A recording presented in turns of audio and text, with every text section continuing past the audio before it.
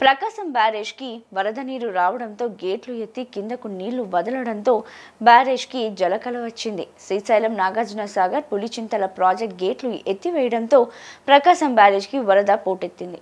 దీంతో బ్యారేజ్లోని మొత్తం డెబ్బై గేట్లనెత్తి రెండు లక్షల తొంభై ఒక్క వేల ఐదు వందల క్యూసెక్ల నీటిని వదిలిపెట్టారు. మరోవైపు కాలువల ద్వారా పదమూడు వేల ఎనిమిది వందల క్యూసెక్ల నీటిని మొదలుపెడుతున్నారు